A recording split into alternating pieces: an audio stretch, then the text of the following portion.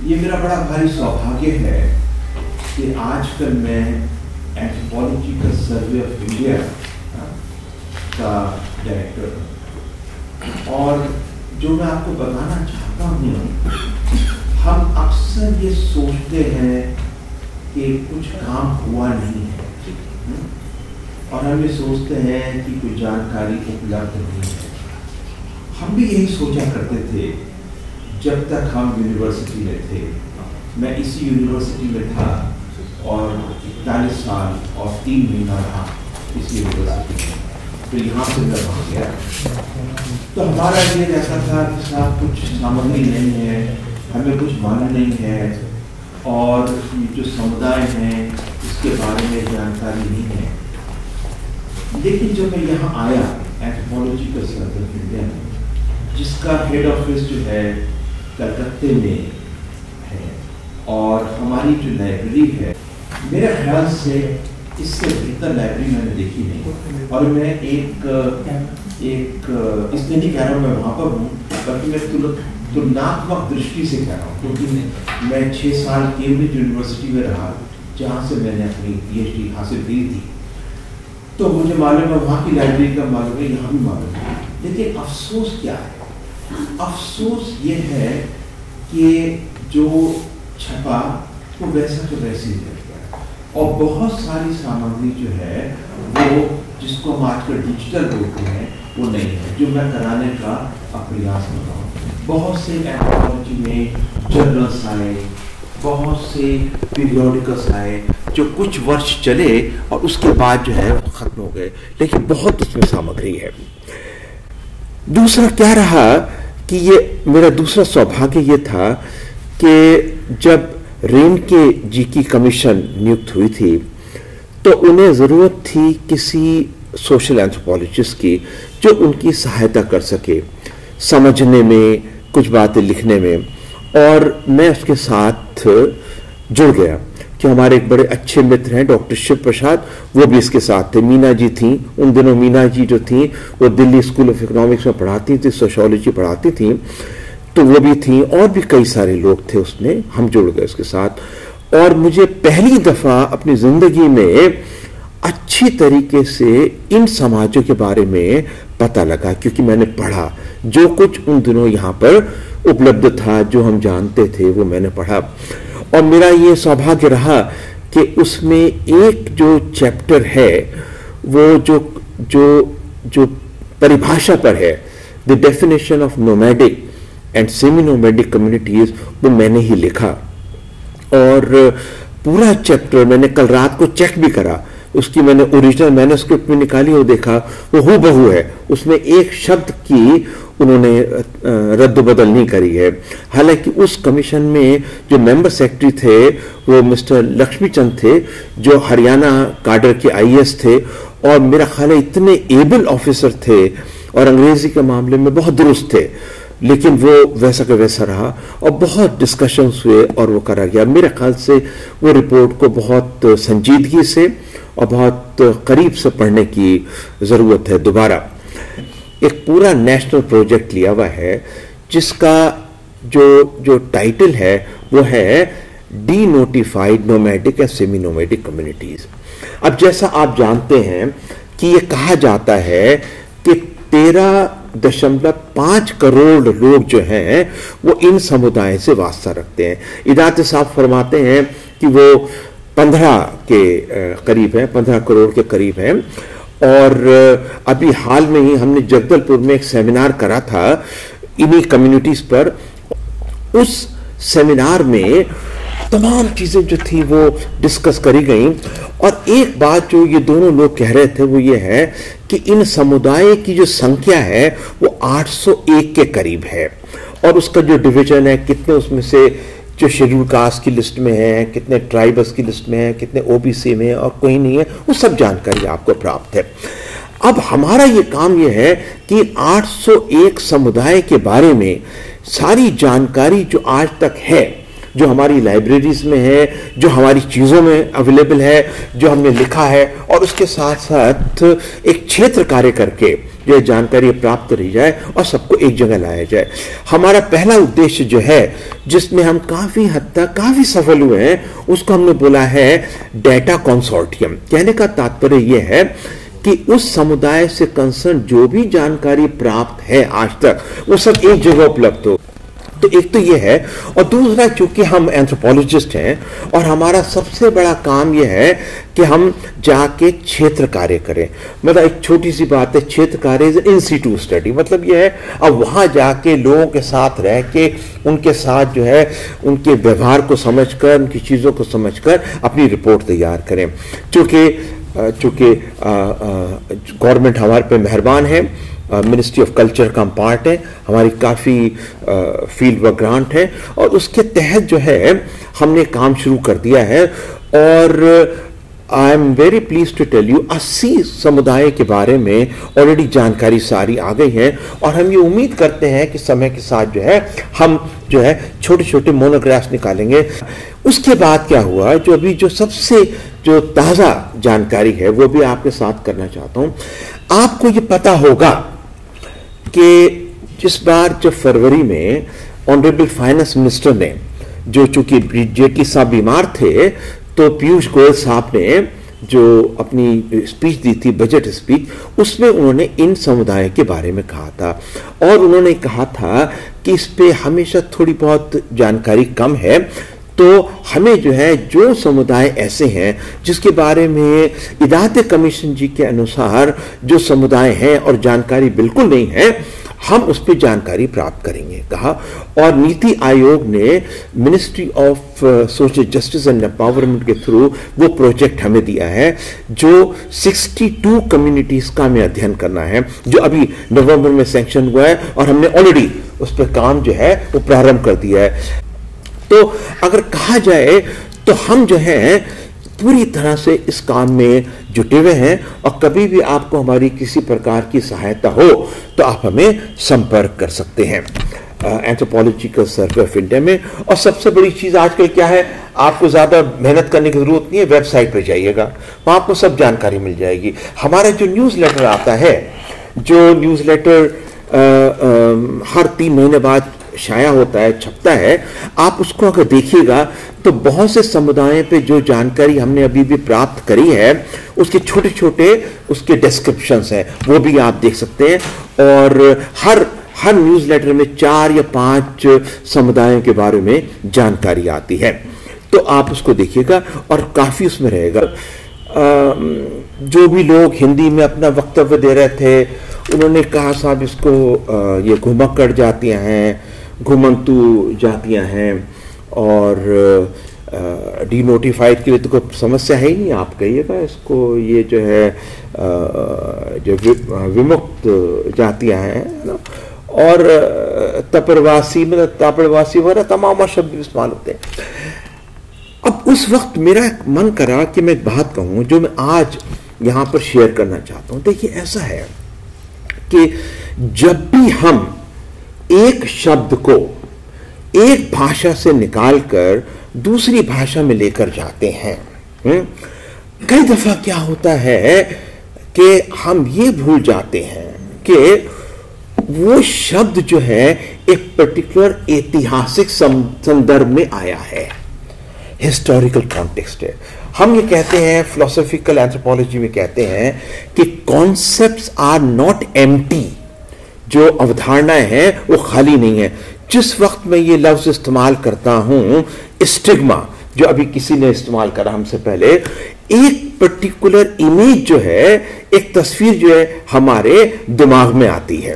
हम्म, चाहे हम उस उस कॉन्सेप्ट के ऊपर, उस अवधारणा पर जितने और लेख लिखे गए हैं, जो लोगों ने सोचा है, चाहे वो जाने या ना जाने, कितने लोग ऐसे हैं जो स्टिग्मा की बात करते हैं, और उन्होंने अरविंद गॉफमैन के जो काम है स्टिग्मा पर, वो आज तक पढ़ा नहीं मैं सोशोलॉजी के विद्यार्थियों से भी कहता हूँ कि आपने पढ़ा नहीं कि किस तरीके से उन्होंने देखने की कोशिश करी है हम्म? और स्टिग्मा का जो प्रोसेस है, एक जो प्रक्रिया है, कैसे वो काम करती, कैसे करती, कितने लोगों ने उसका उसका अध्ययन करा।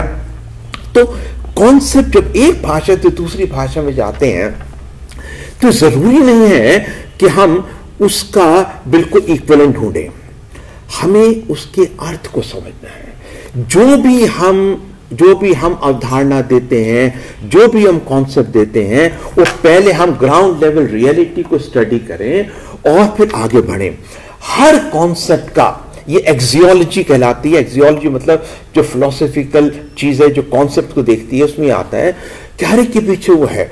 अब जब हम, जब नॉर्थ इंडिया में, जहाँ मैं मैं तो यूपी का रहने वाला हूँ और और आ, हिंदी या जो हिंदुस्तानी है वो मेरी मातृभाषा है। जो शब्द घुमक्कड़ है ये एक अच्छी सेंस में इस्तेमाल नहीं होता। ये मैं आपको बताना चाहता हूँ। घुमक्कड़ का अगर कोई सबसे क्लोजेस्ट जो टर्म आता है वो आता है कोई वेगा बॉन्ड है। घुमक्कड़ है, है? यूपी में लोग कह देते हैं नॉर्थ में कहते हैं भाई क्यों घुमक्कड़ बने हो है?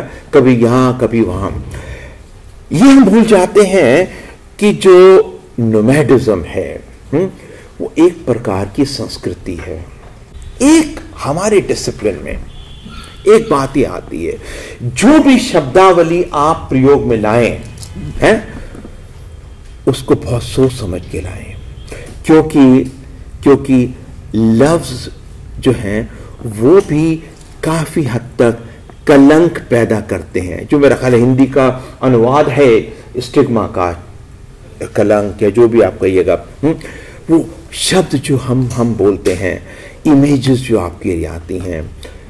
इसलिए हमने वहाँ पर यह कहा कि इन समुदाय का जो हमने देखा हमने देखा हमने ये देखा इन समुदायों में समुदायों हमने देखा कि एक कॉन्सेप्ट ऑफ़ मूवमेंट है यह है कि हम चलते रहें और और वो चलने का जो मतलब है, वो ये है कि जहाँ हम अच्छी तरह से रह पाएँगे, हमारे मवेशी अच्छी तरह रह पाएँगे, हम वहाँ जाके बस जाएँगे कुछ दिनों के लिए हाँ? वो उस जगह की सहायता करेंगे, फिर आगे निकल जाएँगे।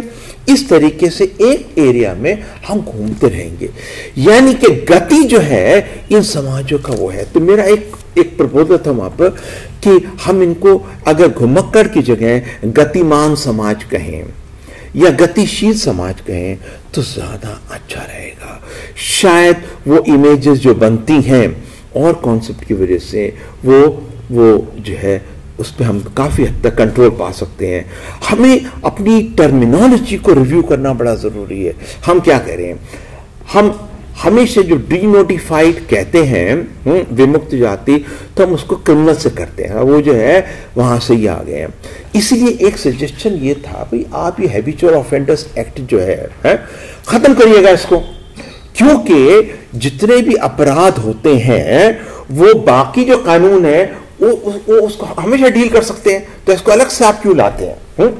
मोर ओवर आप ये बिल्कुल ना भूलिएगा कभी ना भूलिएगा जब आप डी नोटिफाइड कम्युनिटीज की बात करते हैं।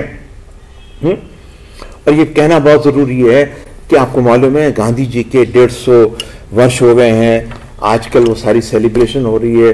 हमने पाँच सेमिनार करे गांधी जी पे और हर सेमिनार पे हमने इन्हीं चीज़ों का हमने डिस्कशन करा। मैंने बहुत पढ़ा।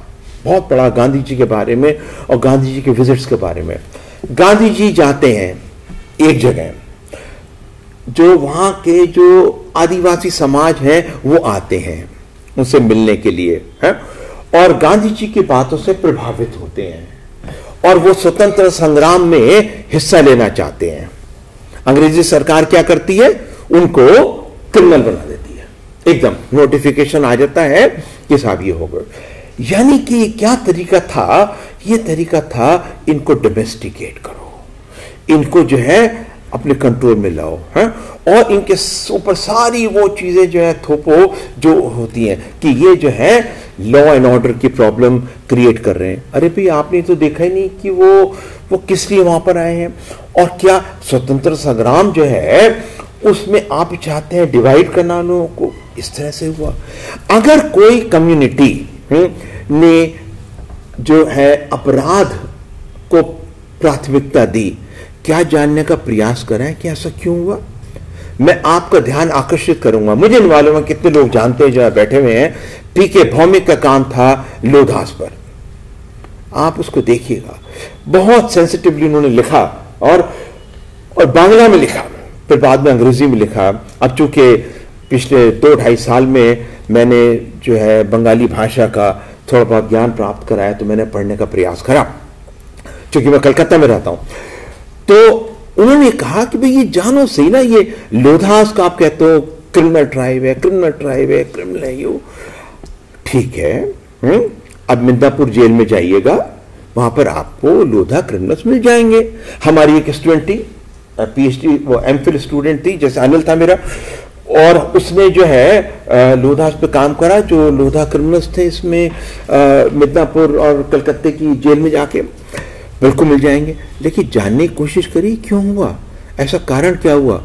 और उनसे ट्रेस करा कि किस तरीके से जो उनका जीवन था, जो जो फॉरेस्ट पर डिपेंडेंट था, किस तरीके उस पर वार करा गया।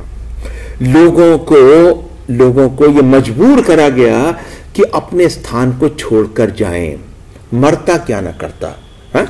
आप जानते हैं। फिर क्या हुआ? उसके बाद क्या हुआ कि ये लोग जब आए लोधा आए, भाई वहाँ पर जो शहरों में आए, जिस गाँव में आए, जिस जगह आए, वहाँ पर उनके पास वो स्किल्स नहीं है जो कर सकें। क्या करेंगे वो, है? और और क्या जैसे वो आए, चलो उन दिनों लैंड वॉज़ प्लेंटीफुली अवेलेबल कहा, चलो आप भी यहाँ पर यहाँ पर रह जाओ। आजकल तो बड़ी प्रॉब्लम है। मतलब रेन के सांप के अगर आप सुने तो आपको पता रहेगा कि जहाँ भी ये लोग आकर किसी गाँव के पास बसे, हैं तो लोगों ने कहना शुरू कर दिया, ये जो है, बच्चों को उठा के ले जाते हैं। ये भी तो एक प्रकार के जो है, कलंक है स्टिग्मा है, जो उसको उसको चल रहे हैं।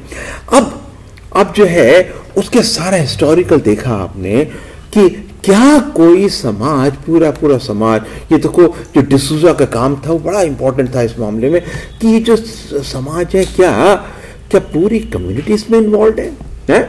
या हर जगह हर प्रकार के लोग मिलते हैं? उसकी वजह से आपने कलंक पूरे समाज पर लगा दिया है? एक समाज को एक आपने एक नई पहचान दे दी। फिर क्या होता है जब नई पहचान आ जाती है तो लोग कहते हैं अब हम इसके अनुसार ही चलेंगे। अगर बार बार मुझे कहोगे कि मैं पढ़ता नहीं हूँ, पढ़ता नहीं हूँ, पढ़ता नहीं हूँ तो मैं कहूँगा, चलो आप बार बार कह रहे हो, मैं नहीं पढ़ूँगा। ठीक है? एक ये भी बात आ जाती है। आपने इसमें जो सोशियो साइकोलॉजिकल प्रोसेस है, वो जानने का प्रयास करा। इन समाजों को उस दृष्टि से समझना, जो हमारी जो स्टडीज़ हैं, वो बहुत अच्छी तरह बता रही हैं।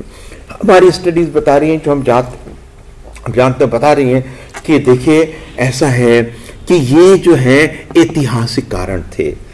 हिस्टोरिकल रीजन एंड नेग्लेक्ट जो कुछ है। अब क्या है कि एक जो है, इसमें जो, क्योंकि साढ़े दस मुझे ख़त्म करना है तो मैं ज़्यादा ना बोल के बिल्कुल एक एक उसमें आऊँगा। एक सबसे बड़ी चीज़ ये है कि हम जो अवधारणा इस्तेमाल करते हैं, उसका हम एक कॉन्सेप्चुअल अंडरस्टैंडिंग ज़रूरी है। कि क्या है। और उसको प्रोसेस में देखना, क्या वाकई में आज के भारत में गतिशील समाज है? क्या उसी प्रकार के समाज है जैसे हम सोचते हैं? या या जैसे सीजनल माइग्रेशन होती हैं, है? या या ट्रांस ह्यूमंस हैं, ये भी तो शब्द इस्तेमाल होते हैं।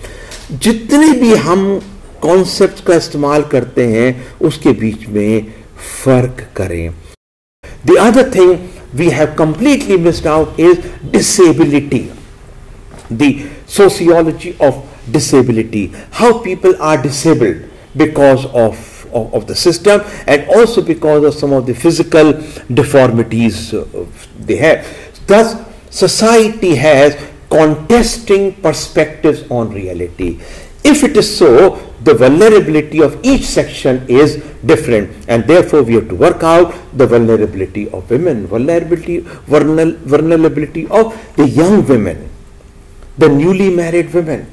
We have to see this and understand understand this and also their their experiences. This is something which is very important. Number 4 or next one, I've forgotten the, the is, is to have a critical look at the suggestions which come. In fact, if I'm not mistaken, in both these, and you can you can do this, you can do the analysis, both in Renke and Idhate, the suggestions which were given, they could be neatly classified into 30. 30 suggestions. I have done all this. Huh? And the way they can be classified, how many deal with the legal? If I am not mistaken, my, my, my uh, uh, content analysis taught me that nine suggestions fall within the legal, legal category. How many suggestions fall within the category called awareness?